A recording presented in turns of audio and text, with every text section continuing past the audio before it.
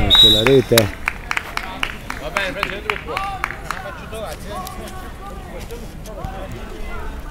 la picchiavi? Quindi la prima rete nel trofeo Jack presa, eh, un rigore procurato da lei, non poteva farci nulla. Non potevo farci nulla, non c'è rispetto in questa squadra. Rimpiange il giorno che ha lasciato il Valencia? Purtroppo Comunque il rigore ha procurato di gol, eh. Il capitano di questa Inter?